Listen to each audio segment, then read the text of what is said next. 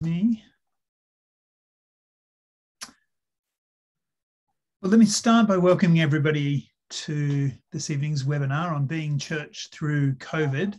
Uh, I want to acknowledge that I am sitting in my study nook on uh, Darug land in Sydney's western suburbs. And for those of you who know on whose land you sit in Australia, uh, or who are the kind of traditional owners and custodians of land you might sit wherever you are in the world. Uh, might be a good moment to just take a chance to reflect on their ongoing stewardship and care for the land, um, the sovereignty which they have exercised in careful custodianship uh, under God's provision for countless generations. And I acknowledge that I'm a latecomer to this land and pay respect to elders past and present. I also want to thank everyone for making time. Um, this is a, a, obviously an important topic of conversation, could be quite a challenging topic of conversation. Um, so the plan is to have uh, Pastor Ramesh Regmi from Smyrna Church in Nepalganj uh, and Pastor Megan Powell du Toit uh, from Sydney, uh, sharing some personal reflections and some um, sort of church and theological uh, reflections, um, and also focusing on what the church at its best can be and what they think we're called to do as we continue to respond. Um, so, my name's Ben. I've met probably everyone on the call actually by the looks. Uh, I'm the CEO of INF Australia, and it's a real um, privilege and joy to facilitate tonight's workshop. Uh, I'll let Ramesh and Megan introduce themselves, except to say I, have known Megan online for a, a, little while and I've known her in person also for a little while, um, more recent than my knowledge of her online. Um, she's a teacher and a speaker and a writer and a theologian. Um, uh, in the particularly in the Baptist community, with a ministry to the wider Australian Christian community, particularly through um, her writing and a podcast that she runs for Eternity magazine. Uh, and Pastor Ramesh um, is pastor of a church with a long connection with INF uh, in Nepal, in Nepalganj, and INF Australia is partnering with um, a community development organization called Milap, uh, which is effectively the community development organization birthed by Smyrna Church um, in that part of Nepal. Um, so tonight, the plan for tonight is we'll give you a little bit of an overview. Um, Ramesh will fill us in with where COVID is up to in Nepal. Megan and Ramesh will share a little bit about what it means for them personally, how they, as people, as they as Christians, uh, members of families, how they have what what COVID has meant for them, what impact it's had on them and their communities. Um, we'll have a look at what churches are doing um, and share some stories, hopefully some positive stories there. Uh, and then we'll finish with some reflections on sort of the theological and missiological challenges posed by a global pandemic. What does it mean to be God's people, to be Jesus's people in the world at this time? Um, and there might not be one answer, there might be lots of answers, but how do we um, find we're following Jesus on the road all the time, right? Um, but sometimes the road takes an interesting turn. Um, we cross a hill and find ourselves in a valley that we were not expecting to be in. And I guess global pandemic is one such place. So, what does it mean to be Jesus's people on the road with Jesus at this time? And I guess that's the critical question for tonight's um, webinar, really. And then there'll be time for questions. So please do um, jot down questions. If you want to note them as we go in the chat, um, you're welcome to use the chat function. I'll try to keep track of that and point back uh, at the end to Ramesh and Megan. Um, but can I just also, um, by way of uh, opening, just acknowledge that it probably for a lot of people on this call, like uh, me certainly, there's probably a lot of emotion about this topic. Um, this is uh, a disease that has affected pretty much everyone on the face of the planet. Um, I'd be surprised if there is anyone on this call who doesn't know someone who has been touched by it in some way, either become sick, lost a family member, uh, or been affected through a lockdown uh, or other sorts of disruptions. It's had an enormous impact. Um, officially, uh, 235 million cases, officially almost 5 million deaths, but that's almost certainly a vast underestimate. They're the official reported statistics. It's not going to capture number of people who became sick and recovered without being tested or became sick and passed away without ever being tested.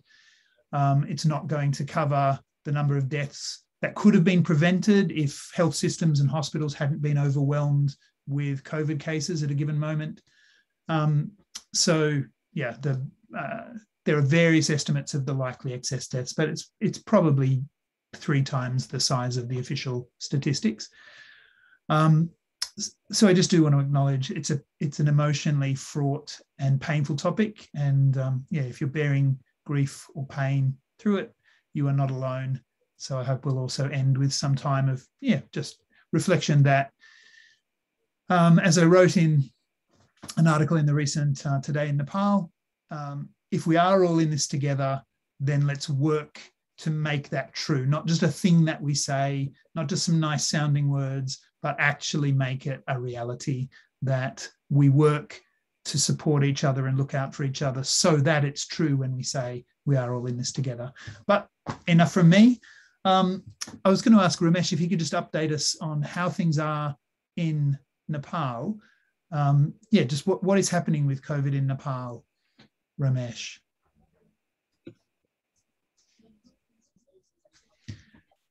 Uh, thank you very much, Ben. So uh, recently, uh, the current situation is uh, not very bad. Uh, the hospitals are uh, almost EMT, let's say. Very few people, very few people are in the hospital and very less are in the ventilator. Uh, in intensive care units. But uh, I'm personally suspecting a lot that we are in the uh, uh, very, very near uh, from the big festival, and a lot of Nepali people uh, from India are coming back. So we can see thousands of Nepali people coming back every day uh, through different uh, borders. So this, uh, this flow will make another disaster in Nepal. I, I suspect like that. So currently the situation is uh, okay. Uh, schools are open. All the towns, no lockdowns. People are free. But let's let's pray that nothing will happen after the after the festival or during the festival.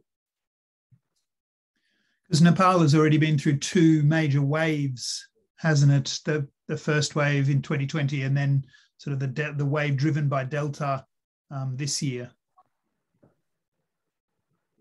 Yes the first first wave was not that much uh, uh, fearful.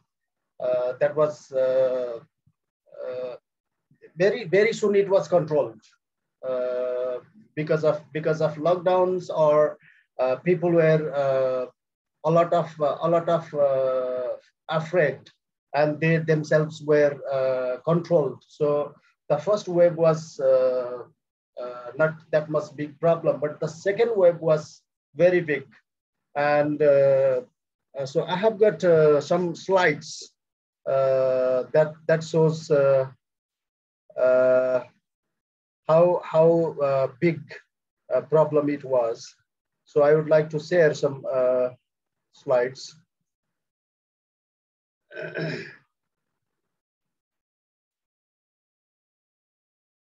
yes, this is uh, this is the current uh, statistics. I actually got it from Ministry of Ministry of Health Affairs. So uh, there were more, more, more than uh, uh, more, more than more than uh, seven million, around eight million.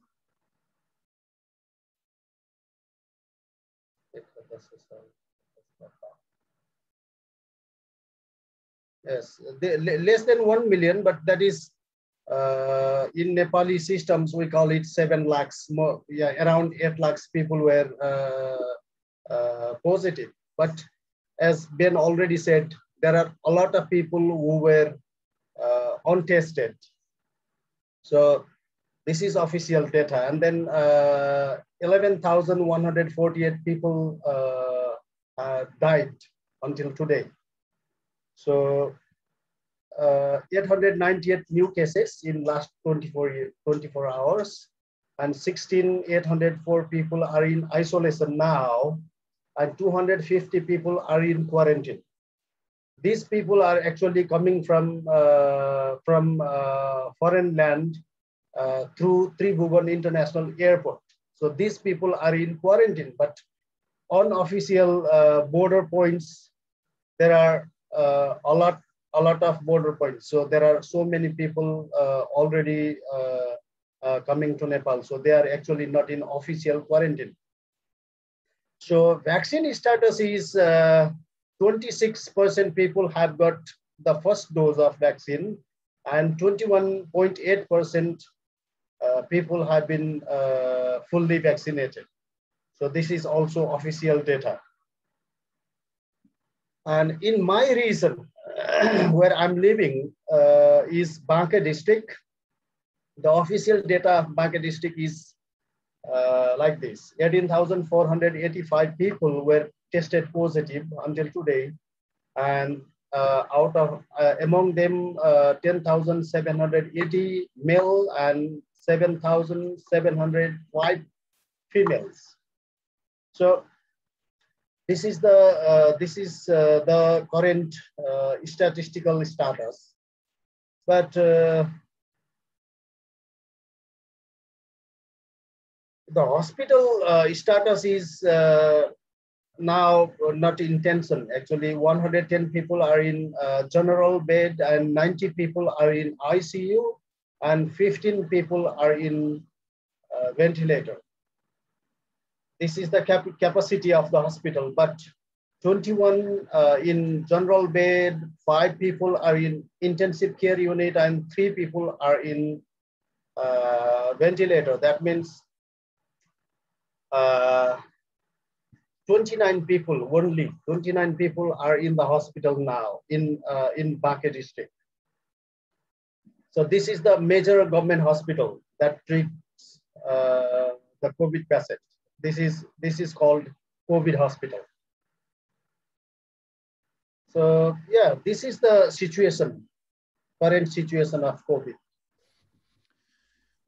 Thanks, Ramesh.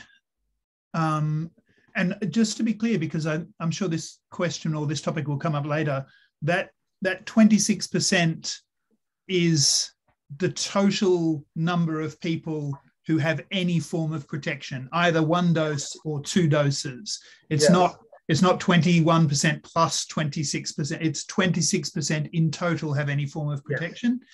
Um, and just by comparison, in Australia, uh, it's about two thirds, it's about 66% of the population currently have any form, uh, sorry, 66% of the eligible 16 plus population as well for us have um, received at least one dose.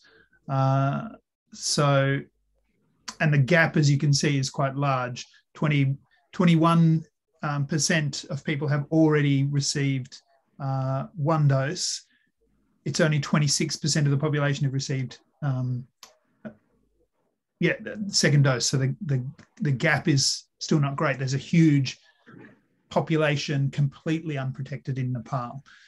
Um, Ramesh, I was just going to ask I know it had, I know the disease had a particular impact on you directly, but so what? What's been your experience, your the personal impact of COVID for you, but also for your family and your church community and the wider community? Like, what has COVID meant for you? Uh, unexpectedly, I myself became the victim. I was infected. Uh, when I was infected at that time, Nepal government had uh, set up uh, few, only few uh, government isolation centers. These were not well managed. Uh, drinking water was lacking and food, mostly water and food uh, used to be supplied from the patient's home. When I became sick, I had two options only. First, go to the government hospital and all the supplies uh, uh, come from home. Or choose the paid isolation center, which was very expensive.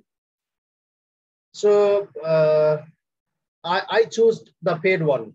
So I paid 3,000 Nepali rupees per day uh, in the in the isolation center. So I I uh, I was uh, for 14 days there, and I spent around 50,000 Nepali rupees for uh, for only for the isolation center.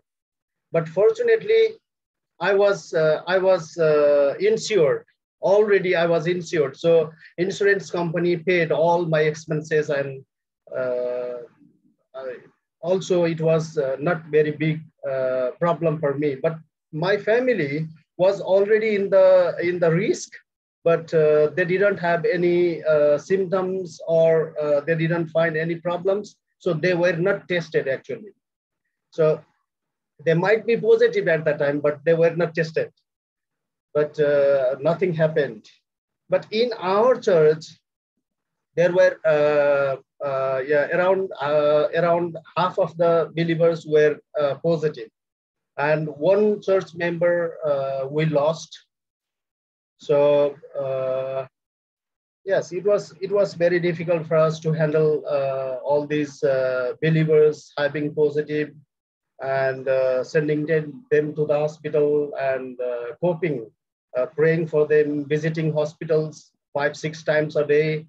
The first entrance into the hospital during uh, during the second wave, it was uh, it was uh, very difficult for me. I, I I imagine that the viruses are hovering around my head, and uh, so I just wanted to escape from there, but I couldn't.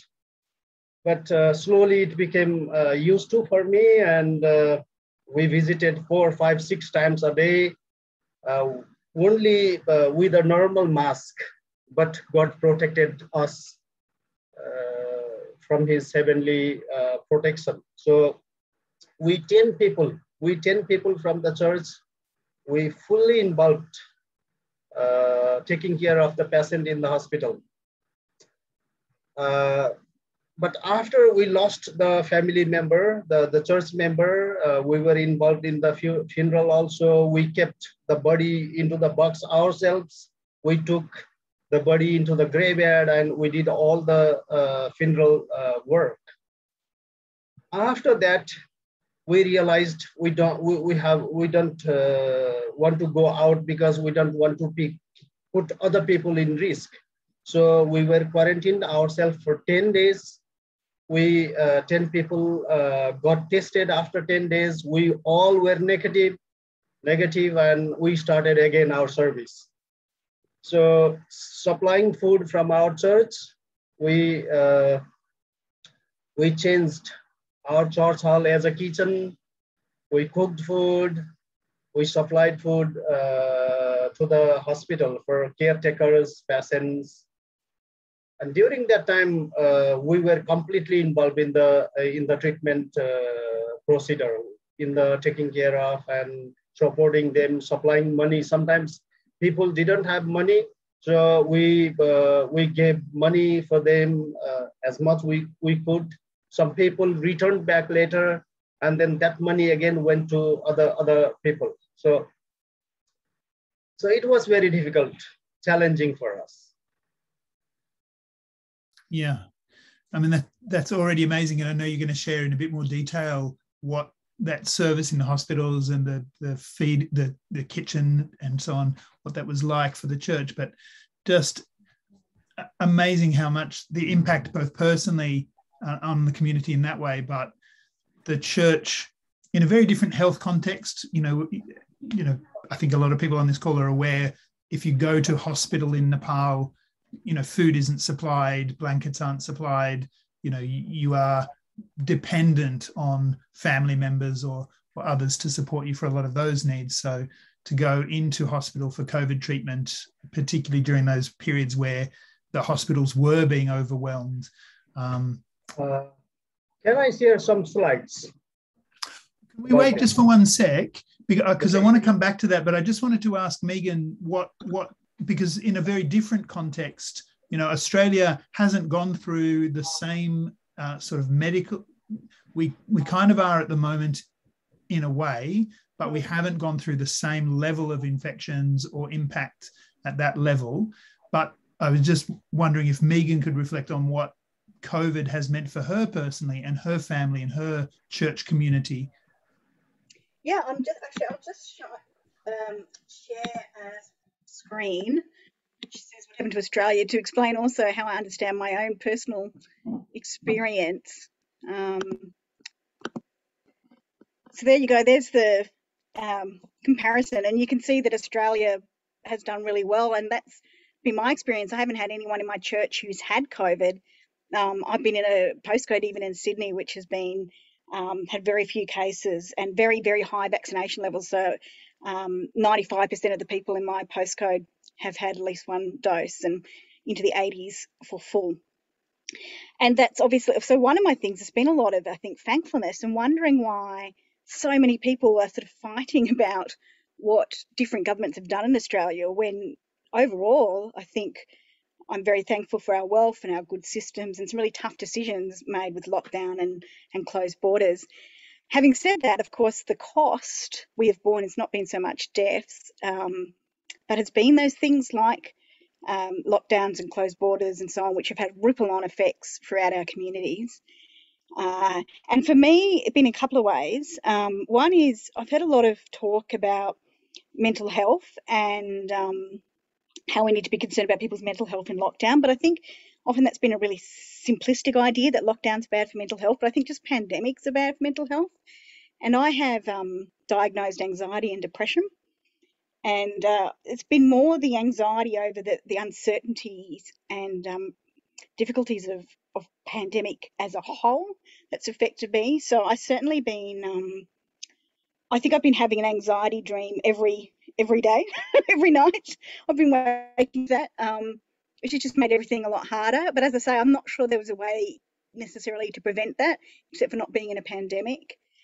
Uh, and then um, just recently, this has really been brought to my mind. Uh, I haven't seen my twin brother who lives in Brisbane because of closed borders for two years, and neither of my parents. And my mum's health is very bad at the moment, not due to COVID, but her heart is close to failing.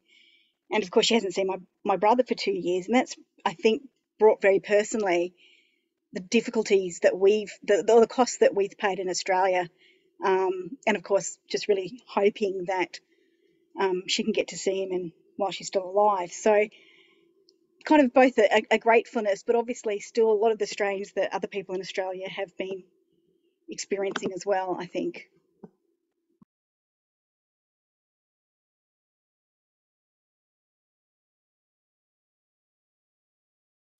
Yeah, I, I think that's a significant to hear you reflect on um, the conversation about mental health because it it has sometimes come across as very one sided, as if lockdowns are the problem and people being locked down is the cause of anxiety or depression or or thoughts of suicide and self-harm. But yeah as you say actually pandemics are anxiety inducing um, and how do you balance people's genuine needs to engage socially and genuine needs to have time outside and so on with also genuine needs to be safe from a virus that will make many people seriously uh, ill and and will will kill some. So it's yeah, I, I appreciate hearing that. Um, want to just reflect for a little while, um, and Ramesh, I might ask you to start. Um, Paul in Philippians asks us to reflect on whatever is right and true and beautiful um, and I could go back to the verse and find all the all the adjectives. It's it's a it's a verse I probably should memorize um, the actual words Paul uses, but uh, but it is one of those situations where often and Ramesh, you've already given us a bit of an indication of what it meant for Smyrna Church, where actually the church has been able to be something beautiful um, and true and noble in a really difficult circumstance. And so I just wanted to ask you both to reflect on where for you have you seen the church at its best? Where have you seen the church really bearing witness to the goodness of God in the way it has responded to COVID? So Ramesh, would love to hear more about um, Smyrna Church, but also anything else you've seen in Nepal. two things uh, I would like to share uh, before I go to the, the, work we have done. First thing, uh, the oxygen supplies was uh, a big problem uh, in the second wave, actually.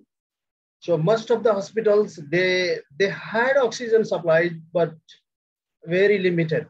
They were not actually prepared for, uh, for the outbreak.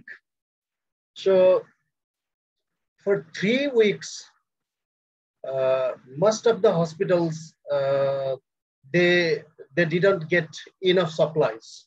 So because of the lack of oxygen supplies, lot of patients died. So our experience, so for one of our, uh, one of our patient, we had brought two oxygen cylinders from INF Banke. And so while filling, while refilling the oxygen uh, in the factory, one of our oxygen cylinder was stolen.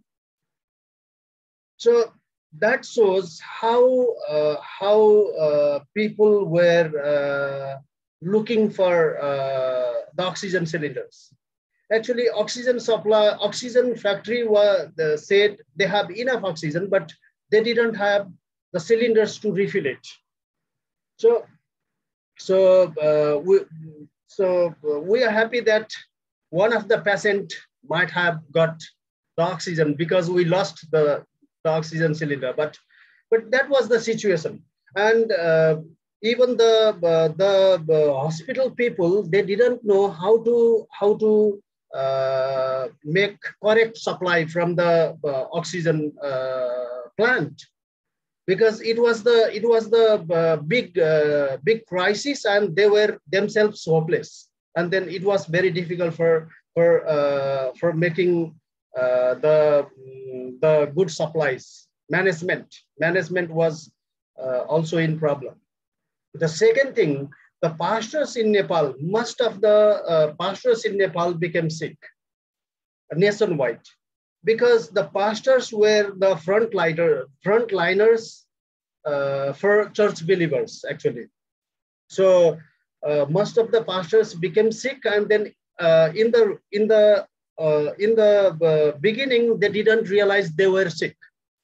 So when they became uh, the they they had symptoms, then they went to the hospital, and many pastors we lost even the big pastors in Kathmandu, uh, some fam some pastors' family, they lost two, three people within the family. So in Banke and Bardia, uh, also a number of pastors died. So this was a big, uh, yeah, unfortunately we lost a lot of pastors. And uh, I would like to share some uh, some of the activities we could uh, we could do to, to address uh, uh, the crisis.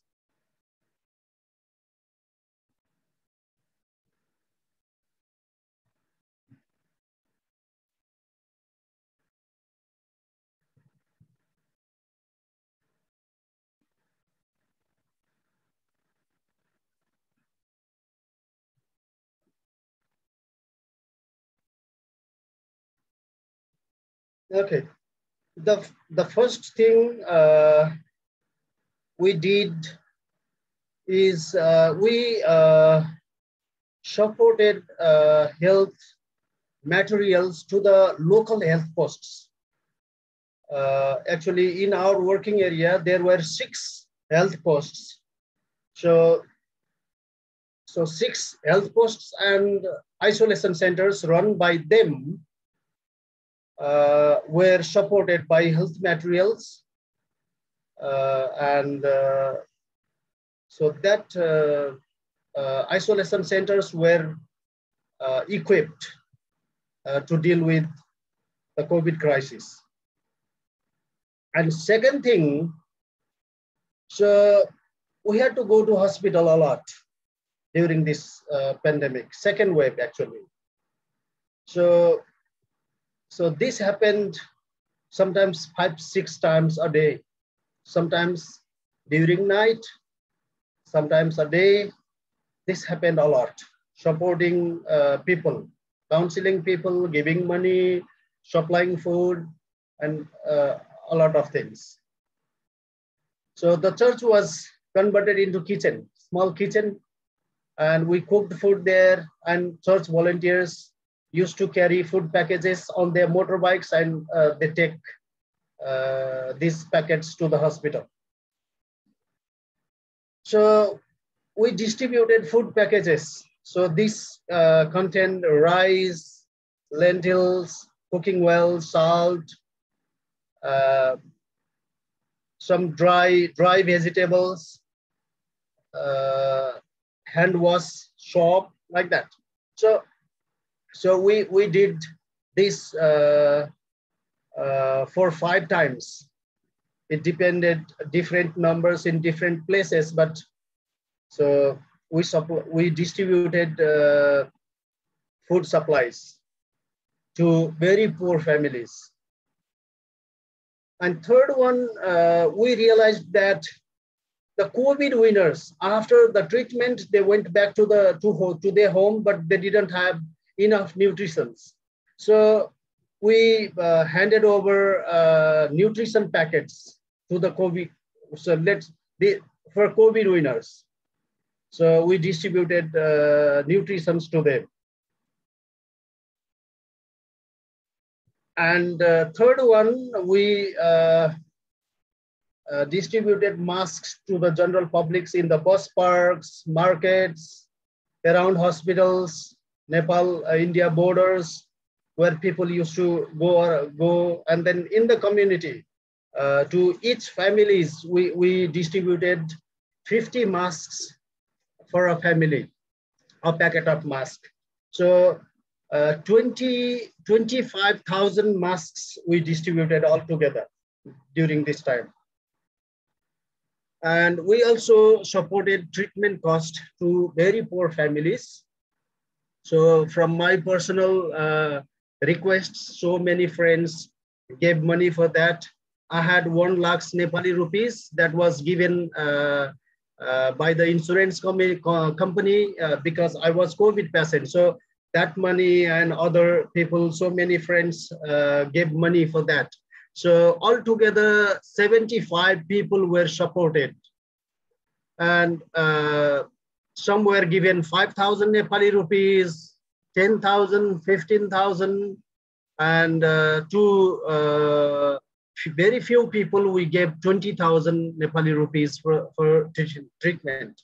And that was great support for them and uh, the families who have lost the key person, bread earning person uh, in the family, and if they are poor and they want to do something for income generation, then we have supported income generation support to them also.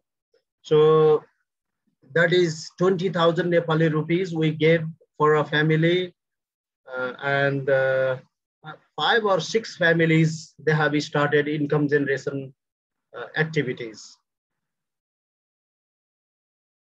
So because of this work, uh, Milap was awarded from uh, Bheri Hospital, Janaki uh, Rural Municipality, where we um, we run our community development project, and district uh, COVID coordination and management committee. So they uh, they awarded Milap. So uh, this is what, what we did uh, during the second wave. So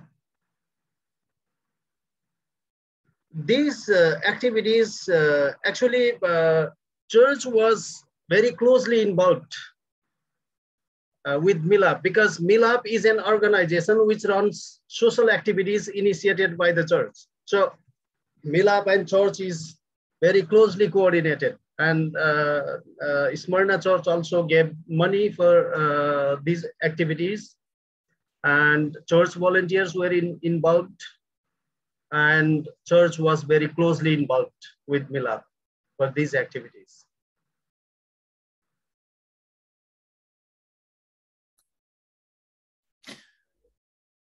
Wow, that's so wonderful to see. And it, I mean, I hadn't seen all of those photos before, but even having known the work that you were doing, just seeing those again just brings such joy and the recognition that the hospital and the municipality uh, and local authorities have shown, the appreciation that they've shown, just is such. I mean, you've already started answering the question about what are the missiological issues around COVID. Um, here's a church, a local church, responding in these ways.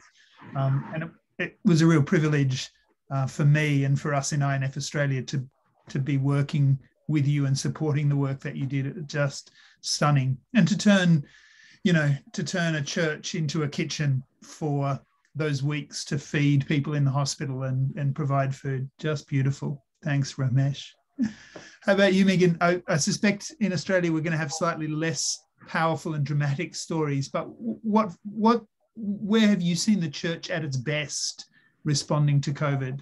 So probably I would say uh, local and global responses. Um, I'm not on the pastoral team of my church, so I'm going to say something they've done good, but I'm I'm in academia now, so not uh, boasting on my own, behalf. But um, Baptist churches have a, a policy of um, every month at communion taking up an offering that we put into a fund for our community, so we're known to keep that there. And so, of course, that's gone to help people during COVID. Um, and the denomination, certainly in New South Wales, sent out a, a, letter to pastors saying, if you run out of that, um, turn to us and we'll start using denominational funds. Um, now, that's often kept quite quiet, but I do know that it's been being used. And one one reason I know it's being used because a friend of mine who was out of work and in fact, because I was using the money from the church to go and do his grocery shopping because I was ahead of him on vaccination. so I was doing that because obviously it was less dangerous for me to go um, into the supermarket than, than for him. Um, and I know that the church, which the church that I'm part of, has had a, a real history of being very present for its community. Um, so a lot of people did turn. So we've actually had an increase of people coming to church um, during both lockdowns, I think, um, because of being there for people, not just financially but emotionally. Uh, and then I wanted to share. So I think I think it's been. I mean, the needs have been different, but the church is still, in the same way, I think, reacted to the community need around it. Um, but of course, also recognizing that. Um, I was going to share my screen.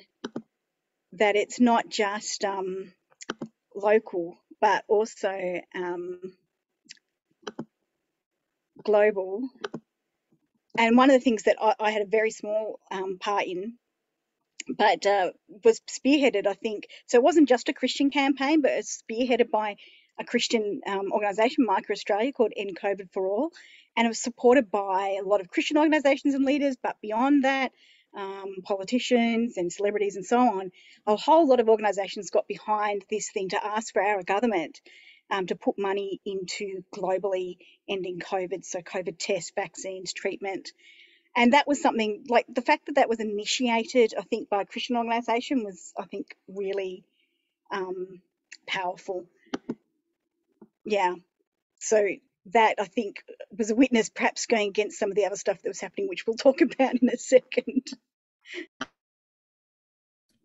Yeah, that that's that's really good, and I think it's one of those it's one of those situations where people I think do just genuinely get a sense of what when we talk about the love of God or the goodness of God, Um, this gives people a chance to feel it, to experience what we mean by that, and that that there is something behind those words uh, when churches are able to respond in that sort of way.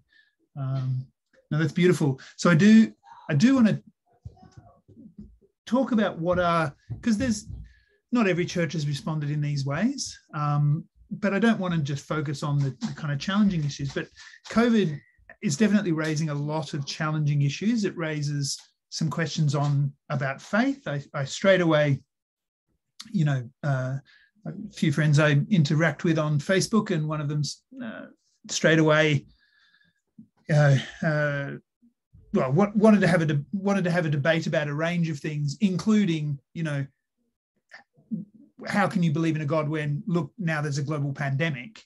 Um, and you know, I pointed out to him, well, look, there have been pandemics before, there have been earthquakes, there have been, you know, every every time and place has a reason for people to question the goodness or the even the existence of God. It's not like that's not a new thing. And Christians have always wrestled with how is God at work in the world? What is God doing now? How is God present with us?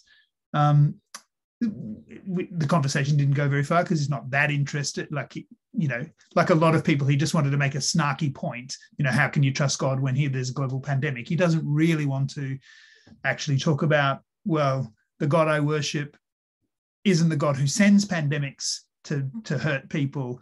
He's the God who takes the form of a human being who enters into the experience, including the suffering of others, and who takes that suffering onto himself in order to liberate us from sin, from death, from bondage, um, and the hope of a resurrection life in which all of these evils are defeated, all of these um, things that that aren't the way they are in heaven. Um, but yeah, but it but it's genuinely raised some challenging questions because I know churches in Nepal and in Australia have been closed um, for, for in-person meetings.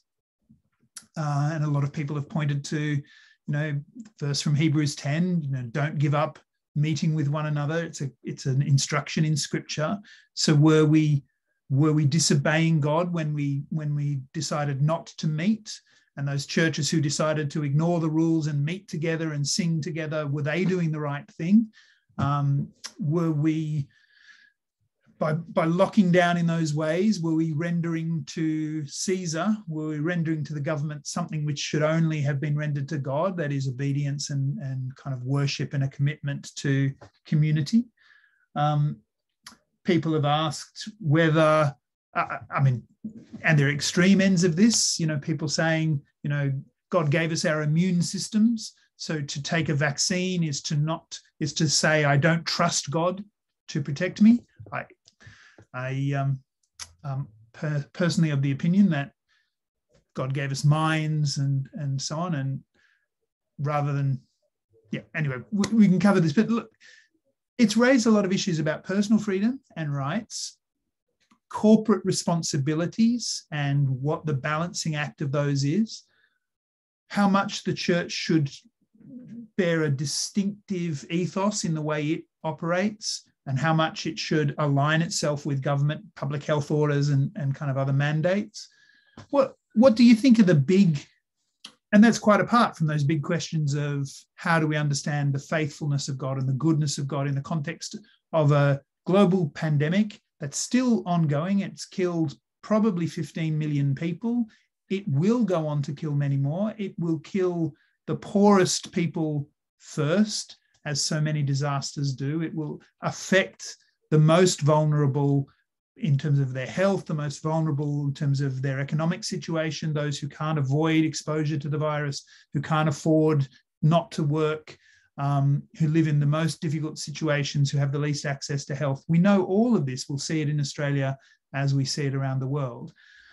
What for you are the big theological issues or the big missiological issues that come up? And how would you respond to some of those, you know, people who don't want to get vaccinated because it, they think it feels like not trusting God or are offended that we're wearing masks because, as the signs say in some of these demonstrations, you know, Jesus is their vaccine.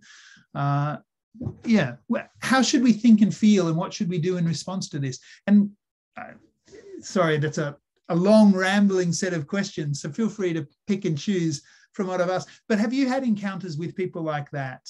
And what have you said and done in response to those in those conversations? So Megan, how, how about you? Yeah, it's been a, a, major um, struggle, I think, for the Church of Australia, which in a lot of ways pretty much has things very easy and has had to confront some difficult questions that perhaps we haven't had to deal with before. And that's a, a growing experience. I, I, actually think there's a lot of quite noisy voices, but overall, the um, the denominations have been um, and leaders have been really uh, stressing compliance and vaccination and so on. Um, however, yeah, there's been some questions about uh, meeting together, how important that is, or should we be three to do that? Uh, and also, um, as you're saying, things like vaccination. To do with the meeting together, I think what's really intrigued me with that is the underlying view of God that for me, the Hebrews passage that you mentioned is about what is good for us and um, and that we encourage each other as we meet together. But also, interestingly, it's a passage which says when two or three, you know, um, a meeting. And um, obviously, if you're in a household, you've still been doing that. I've been watching and, and participating in church with my, my family household. Um, and you've been doing that online, uh, which I think is a bit similar to Paul and the letters that he was sent out. It's just a, a different um, technology, but also he was often prevented, as we know, from being with people face to face, but he still found ways around that. And I think it's instead of seeing it as God requires us to meet together, but rather God has care for us and for other people. And so, if we look at it that way, the question then becomes in this particular circumstance, what's the wisest and the most caring thing to do um, particularly of those people who can least care for or protect themselves.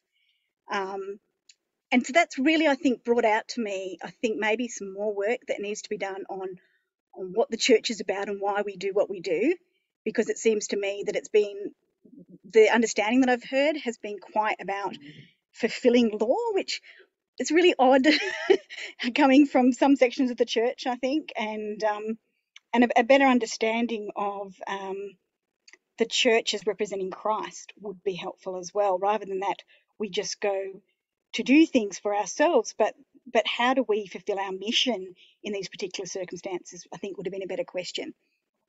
So there's that. Um, the vaccination thing, I think, I think mostly, and we're looking at the numbers in Australia, very high vaccination because we've got access, but also I think Christians obviously are being vaccinated. Um, it just sort of, I think, again shows that we haven't had to think through some issues because our lives are quite comfortable. And, um, but, yeah, most Christians I know would use seatbelts, they would use modern medicine, they would do all sorts of things to uh, take wise care of themselves and others. And this is an, another example. So I feel like with that one, it's been quite, there's been a couple of things going on. It's been quite politicized and um, and also I think there's been a lot of misinformation, and I think that's something where as Christians we have to understand that truth is really important, and humility in that we don't um, expect that all of us have all the knowledge, but rather that um, God gave humankind to each other so that we may um, depend on each other and learn from each other. And one of the ways is really looking to the knowledge of those people given to us who have the expertise um, who've been saying, get vaccinated. Uh, so, yes, I think that one's been muddied. And I think perhaps one of the things we'll have to do coming out of this is say, why have we allowed the church to be a place where misinformation is spread? And why have we allowed the church to become politicised? I think they're going to be very crucial questions. Yeah, a lot to reflect on in that. Um, I'm going to follow up in a moment as well. But Ramesh, what what does it look like in Nepal? How how are Christians thinking about um, COVID and responding to COVID? Are most churches like Smyrna Church, act, kind of trying whatever they can do in their context to keep each other safe and to care for the community? is there any debate about masks and vaccines and and so on? How, what does it look like in Nepal for, for Christians? Vaccines, in my understanding and experience, vaccines are well accepted. I haven't seen uh, or heard uh, any uh, different views than accepting uh, vaccines. They don't have different ideas. Uh, in general, uh, all Nepalese want to get vaccinated, but we don't have that much uh, uh, vaccines yet. Let's let's hope we'll get. But uh, so in vaccination centers, I have seen a long queue waiting for their uh, turns uh, to get vaccines. That shows uh, normally people don't have any oppositions. Uh, wearing masks, uh, getting vaccines uh, are easy, easy accepted. But the problem is they don't, in regarding, regarding masks, so in the towns, uh, there are a lot of people uh, seen without wearing masks. The problem is most of the poor people, they can't afford. So five rupees, uh, if uh, two rupees masks are sold in 10 rupees in the market.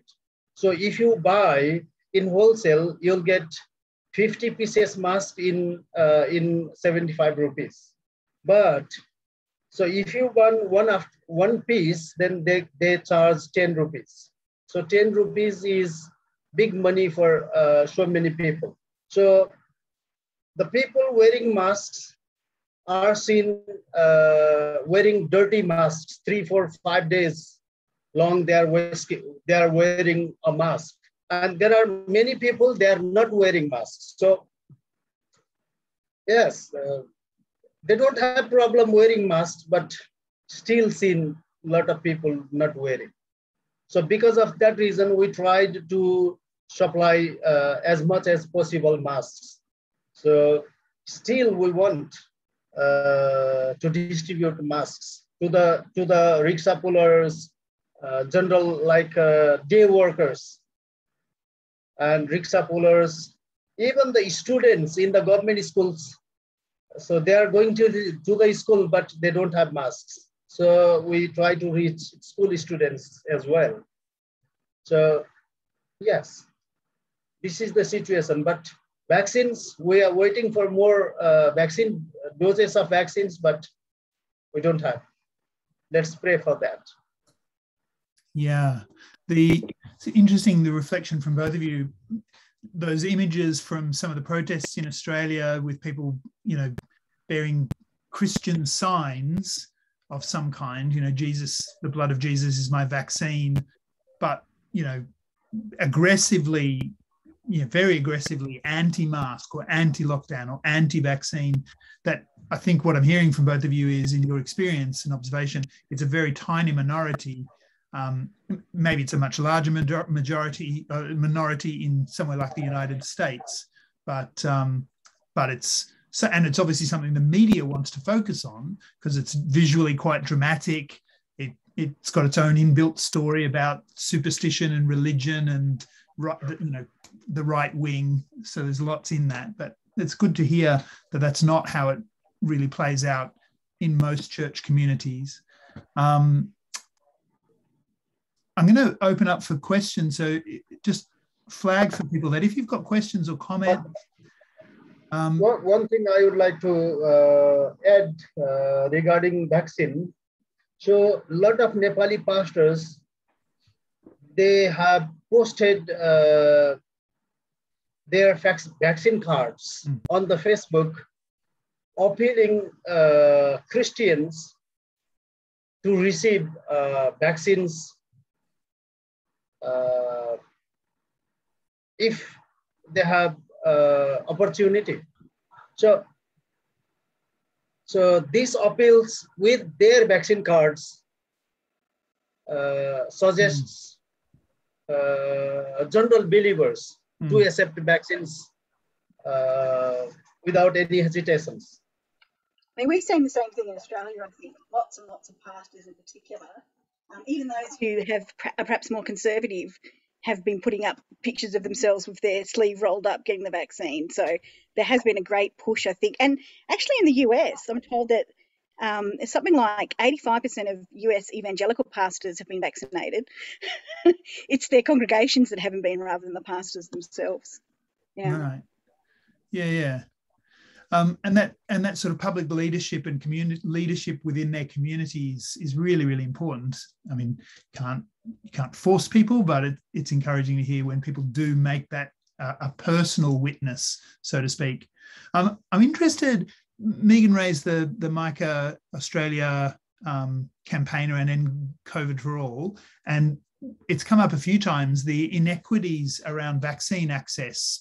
So Australia you know, uh, we've heard how how much that has improved for us lately, and that's largely improved because of the buying power of the Australian government, um, our ability to negotiate deals directly with pharmaceutical companies who produce vaccines or with other countries who either have some spare or are persuaded to make some available um, at, at a price uh, in a way that poor countries like Nepal can't do. And Nepal would be ahead of many other low income countries. Uh, there are at least a dozen countries in Africa where the, fewer than 1% of the population, less than 1% of the population has been, you know, received any vaccinations. So it's a vast inequity at a global level. Um, yeah, and for me, that's that's kind of one of the big challenges of Christians, not just demonstrating in their own communities, in their own congregations that are largely made up of people like them, you know, the same socioeconomic status, because that's how churches form in, in our neighborhoods. But um, how do we demonstrate that actually we have a concern for global justice and equity that uh, that a situation where vaccines are available to the countries with the most money and the best lawyers isn't it, it, it just not in any way uh, an, an okay way to proceed through uh, a pandemic, which um, now I forget which body pointed this out, but this will be the first pandemic in human history um, where more people have died after the invention of a safe and effective vaccine than before the invention of the safe and effective vaccine. And most of those deaths will be in poorer communities and in poorer countries. And the, and the arrangements we have for producing and distributing the vaccines rely entirely on pharmaceutical companies producing them and selling them at whatever price they choose, um, and a vastly underfunded, largely voluntary mechanism called COVAX. Not a bad idea in, in principle, but in practice, not delivering at the scale and the speed required to end COVID quickly. Yeah, so I'm interested in, in what, what Christians should do in response to that. How can we speak about that? What can we work on together? Um, so I'm just going to put that to both of you. How can we work together for vaccine equity in access and distribution? And then um, Brian, oh, I just want to note Bruce has said it was really encouraging to hear what um, Smyrna has done, and thank you for sharing, Ramesh. And Brian has asked as well, are other faith communities, particularly Hindu, um, the, you know, the majority religion in uh, Nepal, is there a Hindu response? How, how do how do other faith communities, religious communities, particularly, how do Hindus respond to COVID? Are there any concerns around vaccination? I might be adding words to Brian's question, but you know, does the wider does the Nepali Christian response look the same as the wider Nepali community response, or are there distinct differences between the ways Christians are responding, the majority Hindu community is responding, Muslims might be responding differently again? What's your experience there? Uh, yes. So uh, uh, regarding vaccines, they don't have any questions. They have they, they are accepting uh, very easily. But uh, regarding response, uh, Muslims are more more active. I have found Muslims are more active than Hindus. Individual uh, Hindu people individually they are supporting a lot, giving money and uh, uh, yeah supporting for hospital supplies or other things but as a group, like as an uh, as a religious uh, structure, I have seen very less responses done by Hindu groups. Sikhs, uh, Muslims, they are more active than Hindus in a collective way. But individually, yeah, there are so many people have helped in different ways.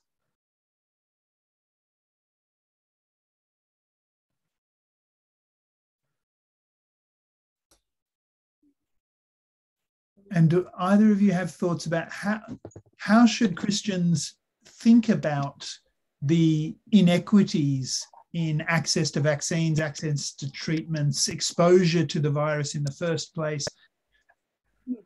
How should we think about that? And, and you know, what do you think we can or could do in response? Um, if Mrs. mind if I go first? Actually, people can bear with me, I was just going to share a screen that gives a plug to my podcast. because we have mentioned this in an upcoming episode. Um, so, so we actually, um, that was one of the questions that we wanted to talk to. We had Professor Gregory Fox come on this week and we talked to him and that's coming out 21st of October on my podcast with all due respect. And he's an epidemiologist and um, respiratory physician, physician. Um, but also he hasn't been involved with Australia's COVID response very much. He's been involved with Vietnam's um, COVID response. So that's this is something he's been actually on the ground with. Uh, so we did actually want to talk to him about that. And one of the things that came out for me from that particularly was um, you know, I've been really pro Australia getting very high um, first vaccination up because that affects the vulnerable in many ways in our own communities. However, there is a question over boosters uh, because should we allow um, or we should we encourage our, our wealthy countries to get a booster across all of their population when many countries in the world don't even have the first level of protection yet from vaccines. And I think that's going to be something perhaps that Christians are going to need to speak strongly about because I suspect there's going to be a big push on our government um, and other countries like us to get boosters out to everybody. And I think we need to hear that perhaps only the most vulnerable in our countries should get boosters while we try and bring the rest of the world up to speed. And that's to our own advantage as well because um, new variants appear because of the unvaccinated. And so we could get a variant worse than Delta purely because we haven't made um, a priority of getting the whole world vaccinated. So, um, but that's one of the things we talk about with um, Professor Fox. So, yeah.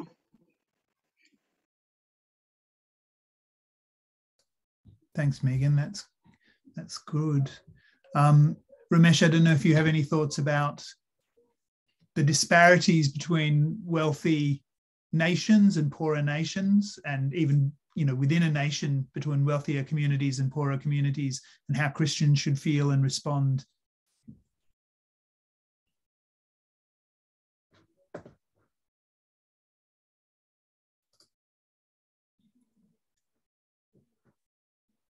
i'm not sure if you're maybe you don't have it maybe you don't have something to say or maybe no uh, it's fine uh, Bruce has said, thanks, Megan, for raising this. We need to push vaccinating the world before boosters. So I think I think that's a really good insight. So I encourage everyone to go to the With All Due Respect podcast, which I guess you can find wherever you find your podcasts, um, or the Eternity News website. I'm sure you can find the links there as well. But it, like it is a great, it's a great podcast, a, a conversation between Megan and a, an Anglican minister, uh, Michael Jensen, um, on a whole range of, of kind of social issues, church, you know, and Christian faith issues. Um, as you guess from the title, a genuinely engaged, respectful, insightful conversation, and obviously a really, really topical guest for your upcoming uh, issue. So I look forward to that one. Um, the yeah, I uh, just want to flag as well. This is something that I think people should get active about because it is go- it is happening. Uh, it's not just going to happen; it's already happening. Um, it's happening in the UK. It's happening in Australia. Conversations about when boosters will be available. These conversations are happening at a government level, um, and they will proceed how that happens, what influence we can have, we need to get active and organized uh, urgently and speak out about it um, to try to flag and, and bring others along. So I just want to flag something that uh, INF Australia did um, recently. And in the light of this conversation, we'll have to think, well, what more, what next steps, next actions can we take? But people might be aware or might not that uh, inside the World Trade Organization, there are rules around the sharing of intellectual property. Um, and so if, if, a, if a patent is held on a, on a particular piece of medical technology, like a vaccine or a treatment or a piece of equipment, that piece of equipment obviously can't just be um, made by somebody else, made in a generic form. There's quite strong intellectual property rights protection built into the World Trade Organization agreements. Uh, and inside the council that considers those matters, uh, in it might have been a year ago now, actually, I think it was October 2020, India and South Africa put a proposal to temporarily suspend the application of those rules to allow for uh, production and distribution of critical uh, vaccines, treatments, and equipment related to overcoming the, the COVID, the coronavirus, the COVID pandemic.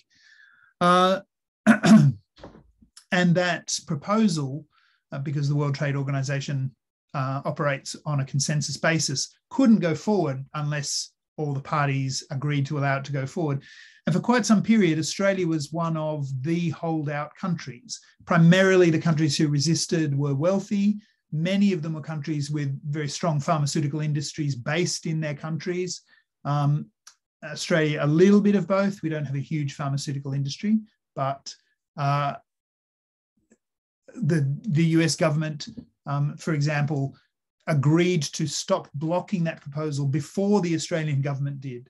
So we actually worked together with, um, I think we got um, well, certainly more than a dozen. I think we got about six, 15 or 16 Nepalese Australian community organizations, got about a dozen other NGOs, Australian primarily aid NGOs. We coordinated an open letter, a letter. We shared it with the Prime Minister, the Trade Minister, and the Foreign Minister. We organized a round of phone calls to the Trade Minister, particularly around the World Trade Organization meetings we weren't alone in doing this. I know that Amnesty International, uh, AFTINET, an advocacy group on trade and investment, were active on this as well. But uh, the end result was, at least rhetorically, the trade minister has now said in public that Australia won't oppose that um, that uh, submission from India and South Africa. The next step is making sure that it's easy enough to say you won't oppose a thing, but then not actually do anything to help make it happen. Um, and there's lots of technical issues. You know, just making the waiver happen doesn't mean that the vaccines get made and get distributed. There are more steps after that, but it's a significant barrier. So uh, I'll, I'll put up a website in a moment, but it is something that we have been organized on and want to keep being organized on. But I do encourage people as you learn about these issues, do try to find ways where you can speak because sometimes we can help in really practical ways. We can visit a hospital, we can st- sit alongside someone who's stuff, suffering or struggling. We can be present for people. Sometimes we can help financially because we've got resources that we can share that other people can put to use in, in really frontline direct situations. And we've seen how what that has looked like because we couldn't have supported um, the work of Smyrna, uh, sorry, of MILAP, um, and the other organisations, INF Nepal, um, in a way that we did without the support from people in the Australian community. But the other thing that that we all have is we do have a voice. We have the capacity to speak out. It's not always a loud voice. It's not always an influential voice, but staying silent certainly doesn't change anything. So if you find something where you think I can raise this with my local politician, or I'm happy to put a call in to the trade minister and just say, thanks, you did a good thing. Now act on it. Um, that's actually a really nice call to make to be able to call a politician and say, thanks for what you said. Really looking forward to seeing you take action on, you know, putting those words into practice. So I'm just going to flick up uh, for one moment my screen and then just have a look at the last few, uh, if there are any more questions.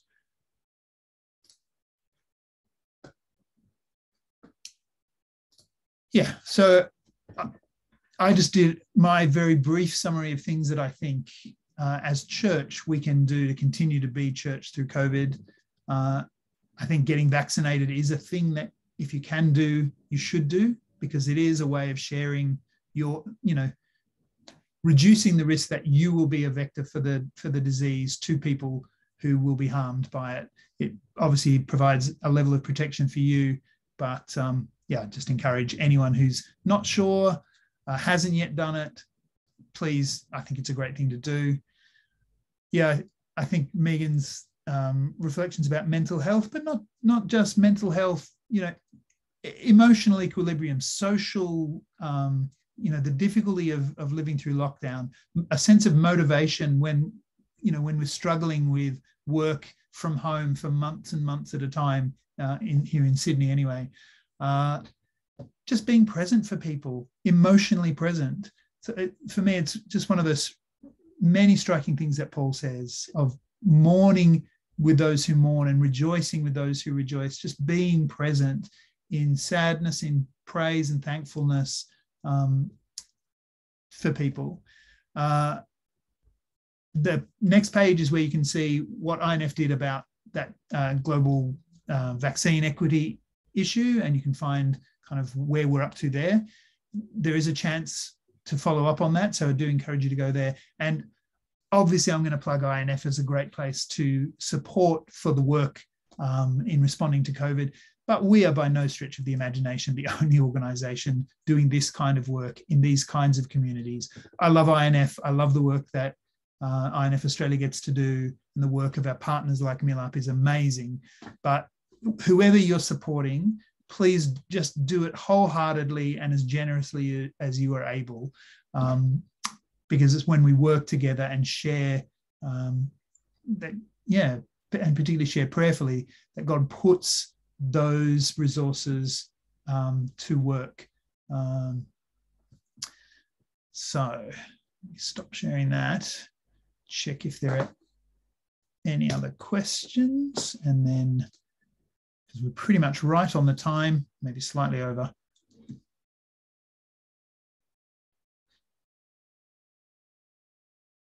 Yeah, so. Um, ben, can I ask a quick question oh, to Ramesh? Yeah, absolutely. So rather than writing it. Um, no, it's good. And in, in this last phase, if anyone else wants to, you know, turn on their mic and turn on their camera to ask a question, please do feel free. Thanks, Ramesh. I'm interested from your perspective. I mean, it seems to me the two really big challenges for the Nepali church um, after post COVID has been one, the loss of the number of leaders, as you mentioned.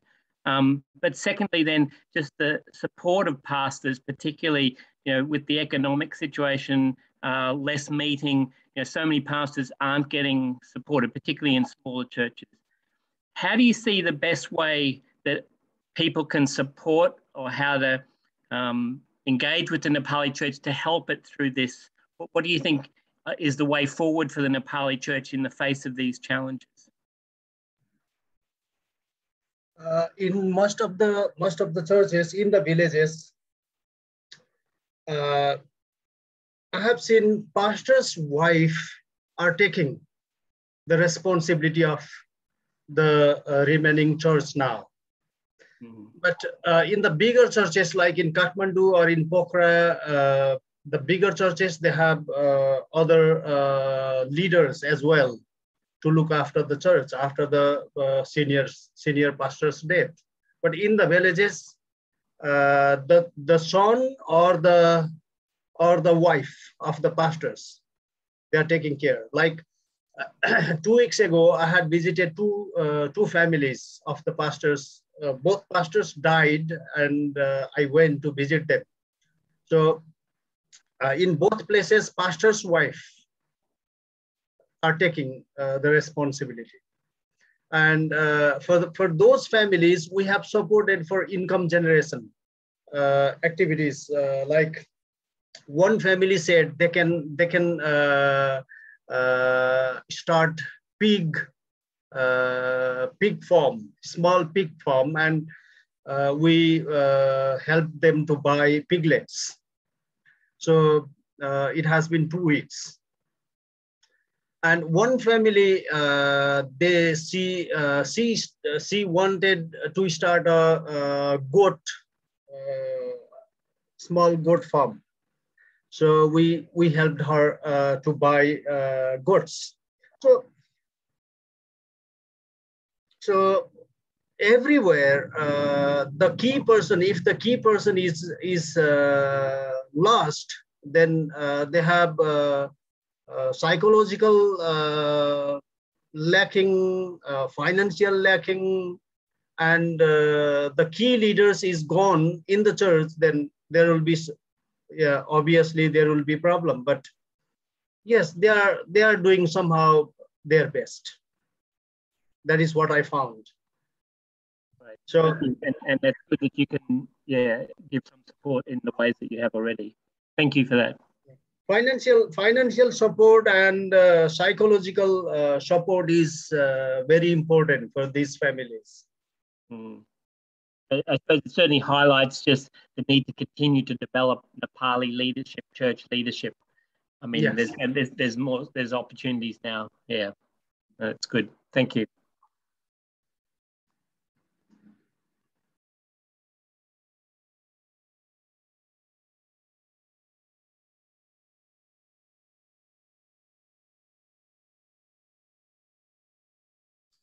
Last chance for questions or comments.